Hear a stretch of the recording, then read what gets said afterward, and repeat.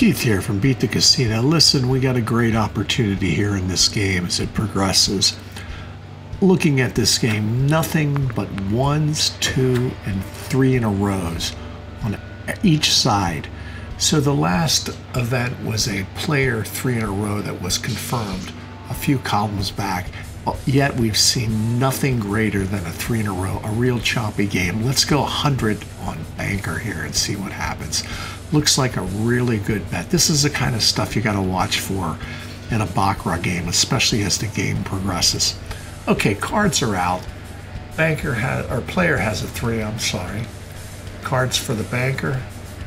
Two, we got a hundred on banker. Okay, card for the player. Oh my, up to six, all right. Oh, and a five on banker, seven over six with the win.